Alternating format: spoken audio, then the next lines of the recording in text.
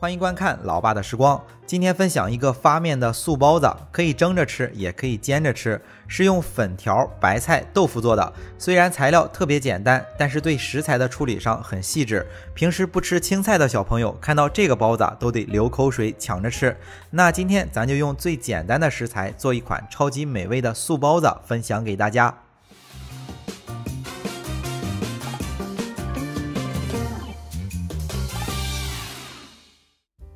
先看一下食材，非常的简单，只有少许的葱姜，主料是粉条、豆腐、白菜。接下来就把这些材料先处理一下。首先把两百克的粉条用清水冲洗干净，接着煮一锅水，水开之后放入粉条，一般煮五分钟左右就差不多。当然也得看用什么样的粉条，不过操作的时候很容易辨别。粉条煮熟捞出之后，用凉水冲一下。接着把煮熟的粉条切碎，但不要切得太碎。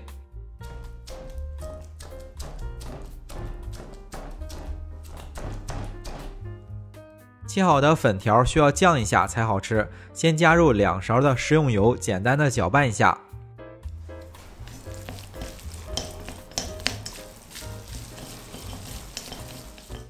再加入一勺的老抽，就是酱油，然后拌均匀，腌制一会儿。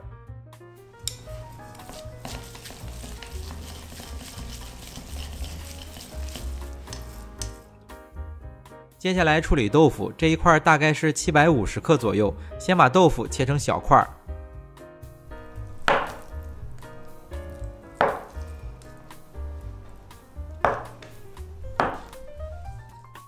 接着起锅，加入少许的底油，大概五十克左右，用中小火加热。油微微有一点热的时候，就先加入几十粒的花椒，大概炸至半分钟左右吧。花椒放香之后就捞出。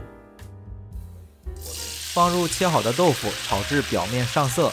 炒制的时候用中小火就行，炒制到表面微微泛黄，这样做包子豆腐不会散，而且吃起来口感更好。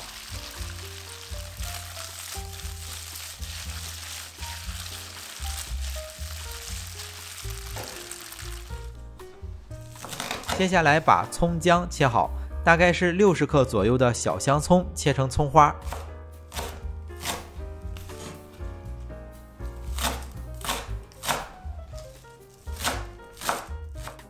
姜大概是三十克左右，如果不喜欢吃姜，可以打碎。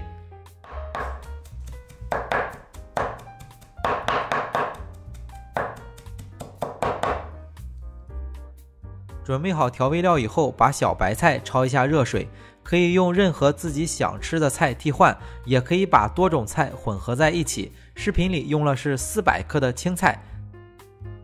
青菜简单的焯水一分钟左右，然后捞出，同样用凉水冲一下，然后切碎就行。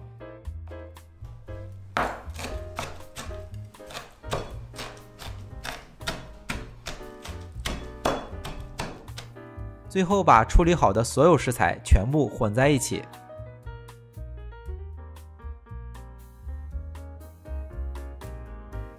接着依次加入少许的鸡精。根据自己的口味加入适量的食用盐，也是根据自己的口味加入适量的胡椒粉。最后加入两勺的芝麻油，就是香油，然后把馅料调拌均匀就行了。刚才煎豆腐的时候放了一些食用油，所以就不用再放食用油了。馅料调制好以后，放在一旁腌制一小会儿，趁着这个时候来和面。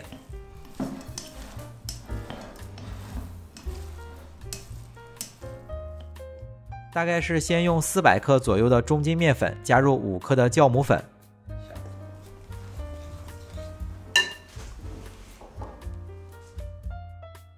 简单的搅拌一下，加入五克的白砂糖，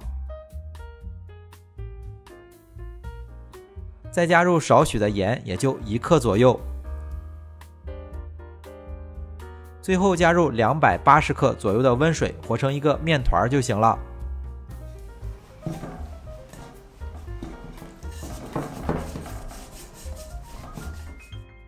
面团和均匀，里面没有干面粉，就盖上盖子或者是包起来，醒发到体积翻倍。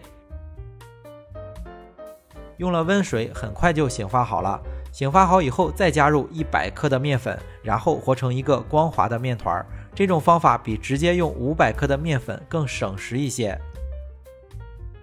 和面盆中不好用力，直接拿到案板上来揉，直至把面团揉光滑。和做馒头的配比基本一样。如果感觉自己和面比较慢，可以先和面后制作馅料。但是这个包子的面皮啊，口感要紧实一些，不用二次醒发，所以尽量按照视频的顺序来做。面团和好以后就不用再醒发了，直接切成剂子来包包子就行了。准备的这些材料大概能做二十五六个吧。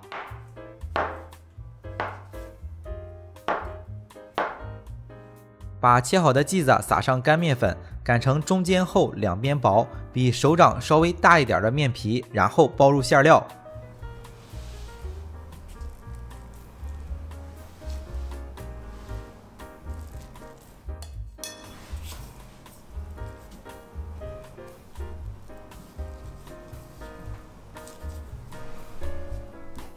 虽然是发面的包子，但是就不用二次醒发了。包好之后就可以直接下锅了。下锅之前来调一碗水淀粉，比例是一百二十克的水中加入十克的土豆淀粉，混合均匀就行。待平底锅微微有一点热的时候，就放入包子。平底锅要提前刷上油，这个镜头忘记拍了。放进去大概半分钟左右就上色了，然后把刚才调制好的水淀粉倒进去。